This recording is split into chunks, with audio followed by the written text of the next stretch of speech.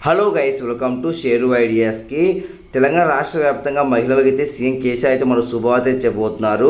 అదేంటంటే ప్రతి ప్రతి మహిళకైతే నెలకైతే మూడు వేలు అయితే డబ్బులు అయితే ఇవ్వబోతున్నారు. రాష్ట్ర వ్యాప్తంగా ఎవరి గురికి ఇస్తారు ఏంటి ఎప్పటి నుంచి అనే దానిపై ఎవరో క్లారిటీ చెప్తే నోటుకు చూడండి. చూడండి ఫ్రెండ్స్ మీరుగా మంచిగా ఫస్ట్ టైం వస్తే కొంచెం సబ్స్క్రైబ్ పక్కన బిల్హం చేసుకోండి. ప్రతి ఒక్కరు లైక్స్ అండ్ షేర్ చేయండి. అంటే ఏదో టాపిక్ తెలియపోతా తెలంగాణ రాష్ట్ర వ్యాప్తంగా మహిళలు అయితే రాష్ట్ర ప్రభుత్వం అయితే మన శుభవార్త చెప్పబోతుంది. ప్రతి మహిళకి అయితే మూడు వేలు డబ్బులు అయితే ఇవ్వాలని చూస్తున్నారు ప్రతి నెల. ఎందుకంటే మహిళలు ప్రోత్సహించే విధంగా రాష్ట్ర రాష్ట్ర ప్రభుత్వం అయితే కీలక నిర్ణయం తీసుకోబోతుంది.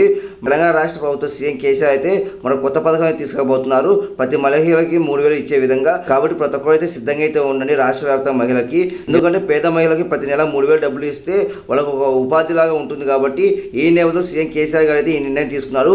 ఇప్పుడే ఉన్నతాధికారులతో చర్చలు కూడా జరిపారు కాబట్టి వాటికి సంబంధించి మనకైతే త్వరలో దరఖాస్తు చేసుకునే అవకాశం కూడా కనిపిస్తుంది. కాబట్టి ప్రతి ఒక్కరు లైక్స్ అండ్ షేర్ చేయండి. మీరు కూడా దరఖాస్తు చేసుకొని రెడీ అయితే ఉండండి. ఇంకే అప్డేట్స్ ఖచ్చితంగా పోస్ట్ చేస్తాను. ప్రతి ఒక్కరు లైక్స్ అండ్ షేర్ చేయండి. ప్రతి ఒక్కరు సబ్స్క్రైబ్స్కి పక్కన మిలహం చేసుకోండి. Time for watching thank you